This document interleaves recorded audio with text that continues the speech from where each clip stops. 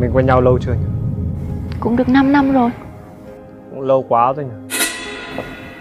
Ý anh là sao? Ý anh là trong 5 năm đấy Mình cũng cố gắng nhiều để hòa hợp với nhau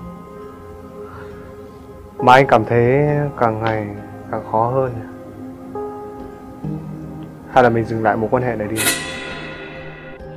Ý anh là anh muốn chia tay ngày hôm nay sao?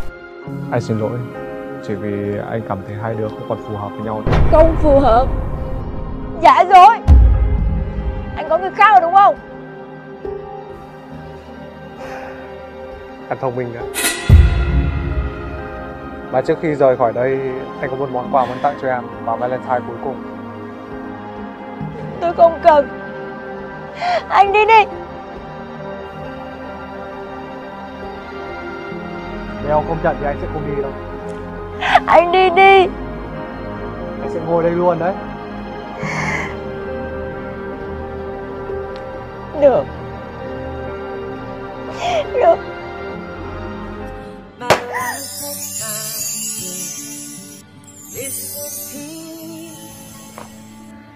Anh muốn chúng mình kết thúc mối quan hệ người yêu. Bắt đầu mối quan hệ mới nhé. Anh muốn quan tâm em nhiều hơn. Làm vợ anh one